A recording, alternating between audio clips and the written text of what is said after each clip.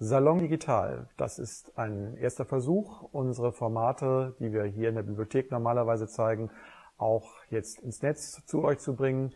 Herzlich willkommen, ich hoffe es geht euch gut und ich freue mich sehr, dass wir Henrik Spohler heute in der Bibliothek zu Gast haben und äh, ihn eigentlich ja schon Ende März in einem Salon hier vorstellen wollten.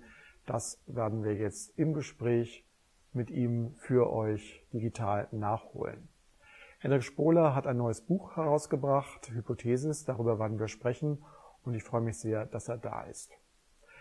Henrik, dein neues Buch ist das fünfte Buch in einer ganzen Reihe. Was ist das Besondere, das Neue an diesem Buch? Ja, um, das, äh, um die Motivation für, ähm, für dieses neue Buch ähm, vielleicht zu erklären, ist es vielleicht ratsam, mal eben kurz durch diesen Starten zu gehen. Ähm, das ist hier im Jahr 2000 entstanden 01 Dataflow und es zeigt äh, die Rückseite der Informationsgesellschaft, also die Serverfarmen, die das Internet ermöglichen. Danach folgte Global Soul und äh, Global Soul beschäftigt sich mit der Rationalisierung von Arbeitsplätzen in modernen industrialisierten Prozessen, also das, was wir heute sozusagen mit Industrie 4.0 kennenlernen. Ähm, das habe ich da im Jahr 2000 bis 2008 versucht zu untersuchen. Dann folgt ähm, der dritte Tag, damit ist der dritte Schöpfungstag gemeint, wo der Allmächtige die Grünpflanze auf die Erde gebracht hat. Aber mir geht es hier um ähm, die Landschaften, die der Mensch durch Monokulturen formt oder was für Spezies entstehen eigentlich, wenn der Mensch selbst zum Schöpfer wird und Nutzpflanzen mit Gentechnik herstellt. Also es sind jetzt schon Themen, die sich mit Globalisierung auseinandersetzen und seit dem Jahr 2000 haben wir einfach auch diese hohe Dynamik in der Globalisierung, die dann hier dort endet. Ähm, das ist die Visualisierung des Welthandels. Ich bin da der Absurdität nachgegangen, dass man heute ein Produkt bestellt und morgen hat man es direkt auf der Fußmatte. Orte des Transits, Unorte, wie Marc Auger sagen würde, ähm, Häfen, Flughäfen, ähm, Logistikzentren, Schienenwege, Straßenwege, die ich hier fotografiert habe. Und jetzt kommt wieder ein Thema, das mit Technik und Gesellschaft und Zukunft zu tun hat. Und das ist Hypothesis. Ähm, warum Hypothesis? In diesem Buch gehe ich den Fragen der naturwissenschaftlichen Grundlagenforschung nach. Und allein dieses Wort ist ja schon absolut sperrig. Warum fotografiere ich das in diesem Kontext als Fortsetzung dieser vier Projekte? Ähm, hier gehe ich praktisch der Frage nach, wie sich Zukunft gestaltet, wie Menschen Zukunft gestalten. Und die Forschung ist ja eigentlich die Basis für Industrialisierung, die wir seit 200 Jahren kennen. Grundlagenforschung ist nicht ähm, vernetzt mit irgendwelchen Produkten wie in der angewandten Forschung, sondern Grundlagenforschung geht dem einfachen Ziel nach, ähm, die Welt von morgen mit neuen Erkenntnissen versorgen. Mhm. Dies ist sozusagen ähm, die Suche nach dem Nukleus für das Perpetuum mobile, für unseren Fortschritt. Oscar Wilde hat ja gesagt, ähm, Fortschritt sind, äh, der Fortschritt ist, äh, sind realisierte Utopien und äh, diesen, den Ursprung dieser Utopien gehe ich mhm. hier sozusagen nach. Das sind Orte der Wissenschaft und Forschung, die abstrakt erstmal erscheinen man hat keine Vorstellung davon und du gibst diesen Orten jetzt eine Visualisierung. Wie bist du an diese Orte überhaupt gekommen? War es schwer, in diese Technologiezentren als Fotograf zu kommen? Ja, dieses Projekt hatte wirklich keinen visuellen Ausgangspunkt, sondern dieses Projekt hatte einen theoretischen Ausgangspunkt. Dieses Projekt ist wirklich ähm, für mich sozusagen als Mindmap erstmal entstanden. Dann habe ich vier Kapitel definiert, also das Kapitel Zeit, Raum, Materie und Leben und diese ähm, ganz großen Fragen, die uns ja sicherlich ähm, als Mensch auch ähm, umfassen, diesen, äh, diesen Fragen, diesen Kapiteln bin ich dann nachgegangen mit einer Recherche. Also Recherche in Bibliotheken, Recherche online. Ähm, ich habe insgesamt ähm, ja vier Monate Arbeitszeit täglich investiert, um sicherzustellen, welche Forschung gibt es überhaupt zu diesen vier Themen und dann auch ganz entscheidend, wo habe ich als Fotograf überhaupt die Möglichkeit, visuell zu arbeiten? Denn viele Bereiche der Forschung sind einfach ähm, so hinter Black Boxes versteckt oder passieren online, dass man schlichtweg gar nichts zeigen kann. Mhm. Und wie war die Bereitschaft der Unternehmen und technologischen Zentren, dich an diese Orte zu lassen? Naja, ich habe ja bei allen Büchern offensichtlich ähm, Schwierigkeiten, erstmal Zugänge zu bekommen, ob es nun Häfen sind, äh, ob es Forschungszentren sind. Aber ähm, es dreht sich zunächst einmal darum, Glaubwürdigkeit herzustellen, den Forschungsinstituten zu zeigen. Hier gibt es einen künstlerisch arbeitenden Fotografen, der am Ende eine Publikation leisten wird in Form eines Buches und in Form von Ausstellungen.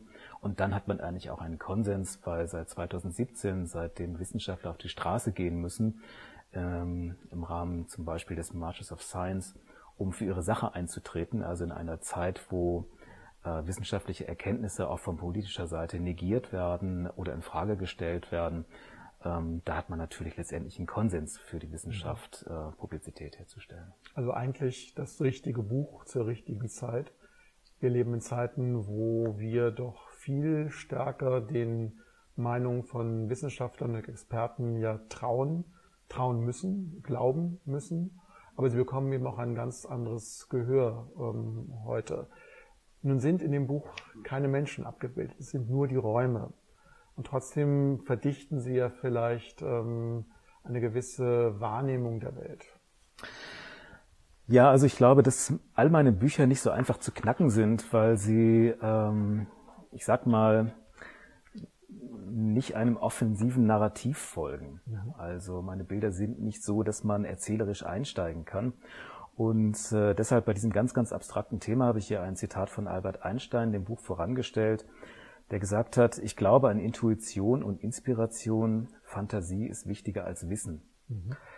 Und ähm, wenn man das auf dieses Buch überträgt, ist es auch so, dass in der Abstraktion dieser, ähm, dieser Bilder, dass man, ähm, dass vielleicht diese Bilder auch für den Betrachter erst einmal eine Hypothesis bleiben eine Annahme bleiben, weil ähm, diese Bilder haben nicht den Anspruch zu erklären. Ja. Dafür gibt es Texte, die jedem Bild zu, ähm, zur Seite gestellt sind. Da hat man die Möglichkeit, wenn man möchte, noch zu, äh, zu erfahren, was an diesen Orten, die ich fotografiert habe, die ja per se sehr abstrakt sind, die im Bild nochmal abstrakter erscheinen, die aber Assoziationen ermöglichen. Da hat man nochmal die Möglichkeit, also inhaltliche Forschung und Bild sozusagen in Korrespondenz zu setzen. Mhm. Das ist genau der Weg, über den ich jetzt auch äh, nochmal sprechen möchte, wie man diese Bilder lesen kann. Wenn man die Bilder erst einmal pur sieht, versteht man meistens gar nichts, aber man bekommt vielleicht ein Interesse, eine Neugier, um herauszufinden, was man dort eigentlich sieht. Der Text hilft einem dabei, aber letztlich bleibt man natürlich sehr ähm, ja ratlos auch vor einigen Bildern, weil sie die Dinge eben gar nicht erklären können, weil die tatsächlichen technischen oder auch Datenflüsse eben nicht sichtbar sind. Ähm, du hast nur aber eine spezielle Bildsprache, die genau dieses Interesse aber dann nochmal herauskitzelt beim Betrachter. Und das finde ich also spannend, dass man eben auch gerne diese Bilder anschaut und auch in ihrer Kühle und ihrer Distanziertheit dann doch eben ein Gefühl für die Orte bekommt, die dort dargestellt werden. Wie arbeitest du vor Ort? Was für eine Kamera benutzt du und wie arbeitest du mit dem Licht vor Ort? Ich glaube, ich bin einer der langweiligsten Fotografen, weil ähm, ich benutze einfach nur ein Stativ und eine Kamera. Und äh, für mich ist die Kamera einfach auch nur ein, ein Werkzeug, um, ähm, um Wahrnehmung aufzuzeichnen. Das heißt, ähm, also ich empfehle einfach auch den ähm, begleitenden Mitarbeiterinnen und Mitarbeitern der Forschungsinstitute immer Literatur dabei zu haben, wenn der Netzempfang schlecht ist, weil es mit mir wahnsinnig langweilig ist. Also ich brauche erstmal einen Rundgang, zum Beispiel beim CERN in Genf, ähm, brauche es erstmal anderthalb Stunden, um überhaupt diese Anlagen zu sichten.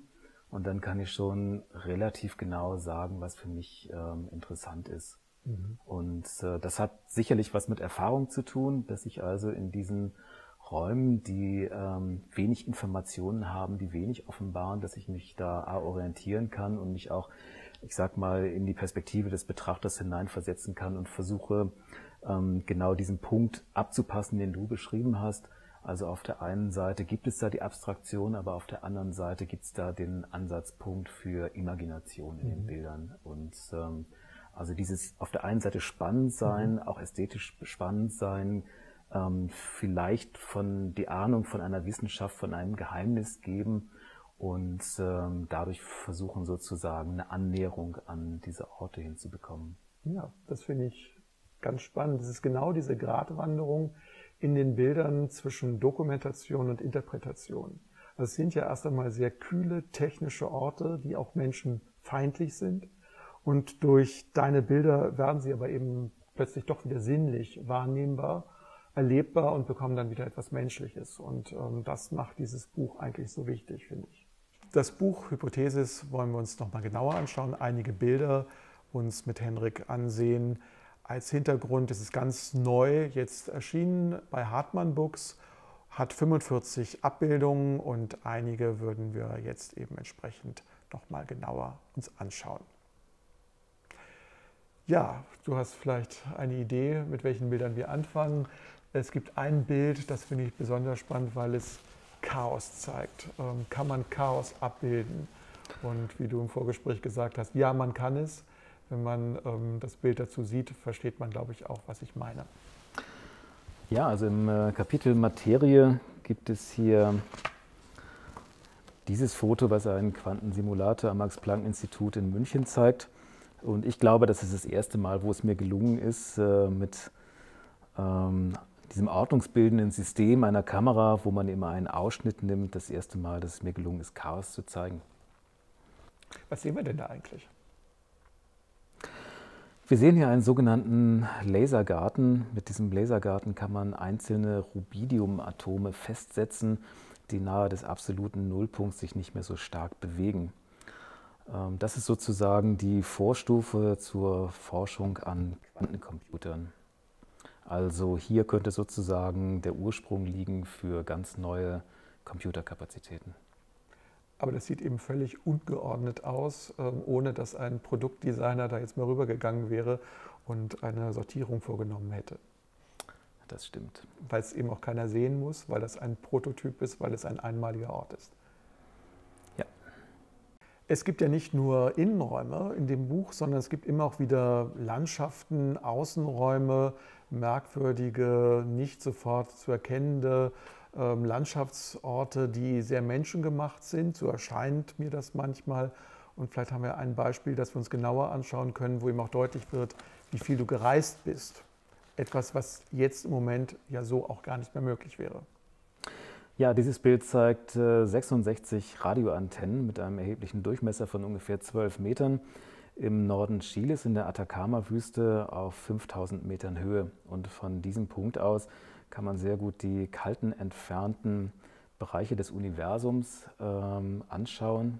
Ähm, dieses, diese Anlage ist zum Beispiel daran beteiligt gewesen, die erste Aufnahme eines schwarzen Loches zu generieren. Die Bildsprache von Hendrik ist ja dann doch nicht nur durch das Licht ähm, ganz stark bezeichnet, sondern immer auch durch seinen sehr ordnenden Blick. Und ich finde dieses ja, Regalsystem mit Objekten ja auch vielleicht ganz typisch. Was sehen wir dort? Ähm, das ist einer der ersten Orte, die ich besucht habe im äh, Institut Marum an der Universität Bremen.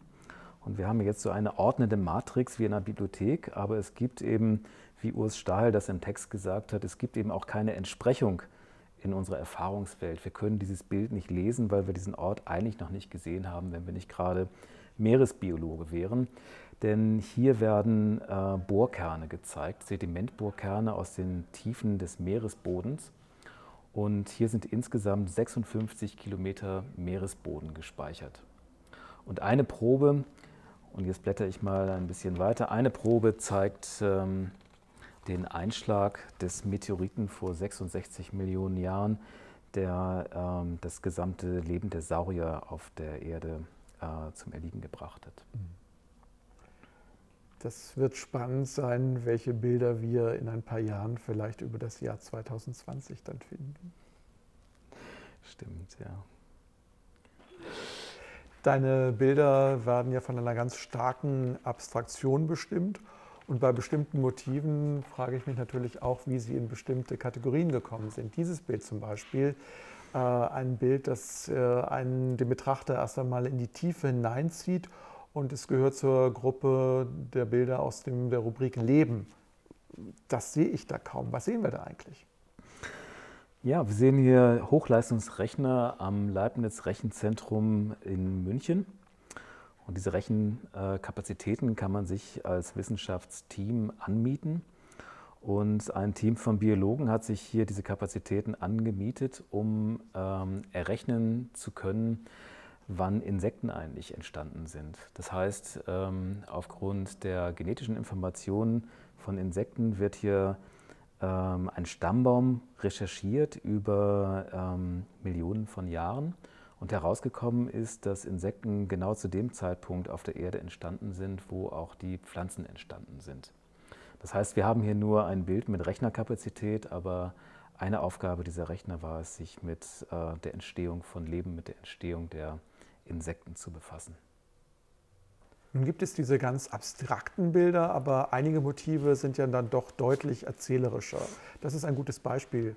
Da sehen wir den Schädel, das ist ja fast äh, philosophisch, äh, dieses Bild. Da hat man sofort ganz andere Assoziationen und ich stelle mir die Frage, inwieweit sind die Bilder arrangiert oder sind es wirklich immer gefundene Situationen? Naja, ein Bild ist immer arrangiert. Das beginnt natürlich schon bei dem Ausschnitt, den man nimmt, äh, ein Teil der Wirklichkeit, den, äh, den man als Fotograf zeigt. Was hier zu sehen ist, das ist ein Schädel, der in einem Computertomographen steht am Max-Planck-Institut für evolutionäre Anthropologie in Leipzig. Und die Forscher gehen der Frage nach, wie alt die Menschheit ist. Bisher hatte man angenommen, bis vor ein paar Jahren 200.000 Jahre. Jetzt hat man herausgefunden 300.000 Jahre. Und die 300.000 Jahre alten Schädel, die ähm, sehen nur geringfügig anders aus als die Schädel des modernen heutigen Menschen. Das Bild ist natürlich auch ähm, als Titelbild ganz geeignet, weil wir sehen natürlich eine Auseinandersetzung zwischen Technik und Mensch. Und diese Selbstbetrachtung des Menschen passt für mich natürlich auch ähm, in das Kapitel Leben. Also ich meine jetzt nicht nur Tiere und Pflanzen, sondern die Selbstuntersuchung des Menschen kommt relativ häufig auch in diesem Kapitel vor.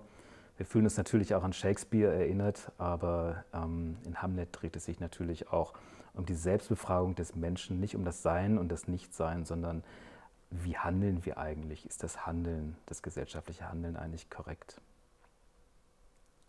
Vielen Dank.